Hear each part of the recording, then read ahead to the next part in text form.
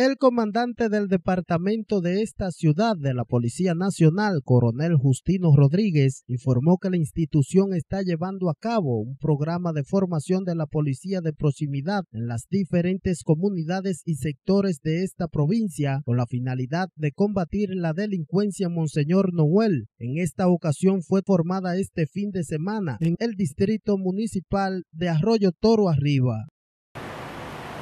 El proyecto de policía de proximidad no es más que la interacción de la Policía Nacional con sus agentes en pos de los beneficios de las comunidades donde hay precariedad tanto de seguridad pública como de su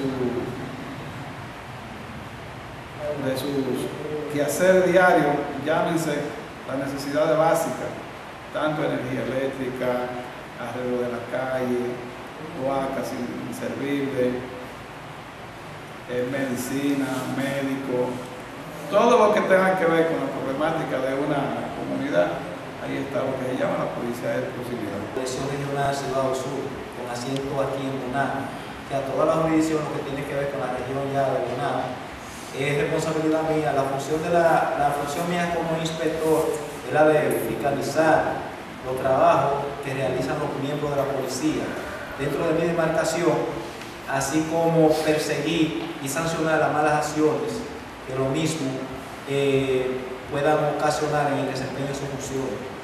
O sea, cualquier maltrato o indebido a un ciudadano, ya automáticamente ese ciudadano puede dirigirse a la inspectoría y desde allá tomamos medidas sobre, sobre ese atropello.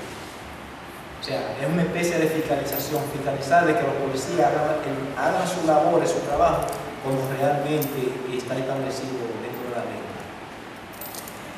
El comandante le hablaba sobre ya lo que es la, la policía, la policía de proximidad. Eh, la, la exigencia democrática, la exigencia democrática nos exige a nosotros ya eh, que tenemos que integrarnos con lo que son los actores externos. Los actores externos son ustedes, los comunitarios, personas ya eh, respetadas y reconocidas por la comunidad.